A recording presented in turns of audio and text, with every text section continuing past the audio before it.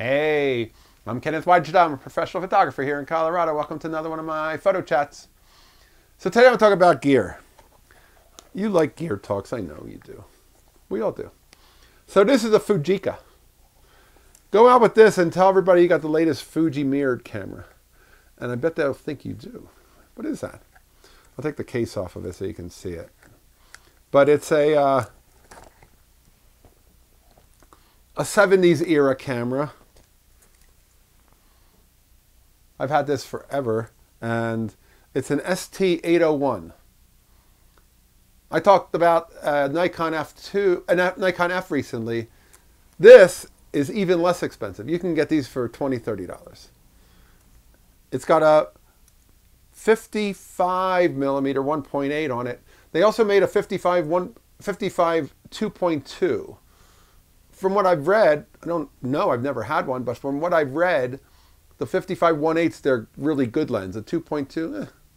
so take that with a grain of salt. It's got a huge viewfinder. It kind of reminds me of a Pentax MX for a viewfinder, but a Pentax MX will cost you some money to get. Nobody wants a Fujica 801, but Fujica was known for having Fuji was known for having really great viewfinders in these. And I've seen 601s, I've seen 801s, I think there was a 901. I happen to have the 801 and it's a small bodied camera that you can have for so low of a price. For me, it's like, it's a K1000 with a better viewfinder. It has just a nice big giant viewfinder. And to me, mechanical shutter, works at all speeds, the meter has a battery. Who knows what kind it is or if it even works. I never check.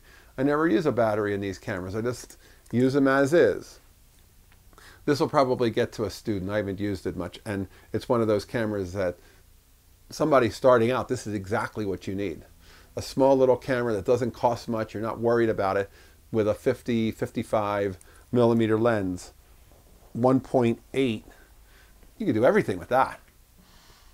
There's a lot of talk in the film business. Oh, film's gotten so expensive. I even see pros saying it. Oh, remember when film was affordable? Maybe color film is crazy prices, but home develop it.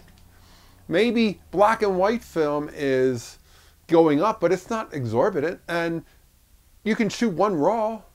You can process it at home for pennies. You can buy cameras really on the cheap. And you can have a look that is unlike digital.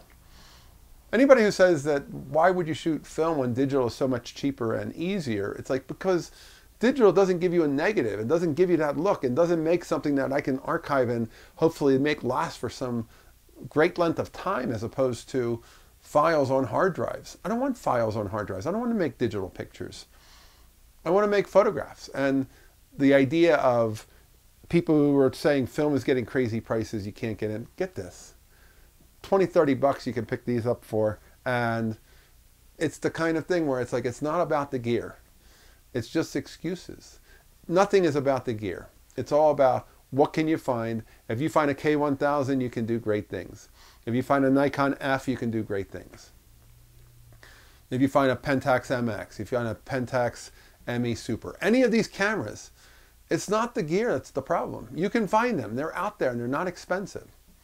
You can find Canon AE1s for 30, 40 bucks. I see them at yard sales. The point is, if you go to a yard sale, ask them if they have no cameras out. Just say, hey, do you have any cameras? And they go, oh, yeah, yeah, there's that one bag we haven't even thought to take out because who would think anybody would want one? And you pay 30, 40 bucks for those, sometimes less. The point is, film is not expensive. Cameras are readily available. Looking for a bargain? The Fujica ST801 with the 55 millimeter 1.8. I don't think you can go wrong. All right, that's today's photography talk. If you're enjoying these, hit the subscribe button. If you can support, hit the Patreon. Thanks to all my supporters. We'll talk more next time. As always, here's to good light.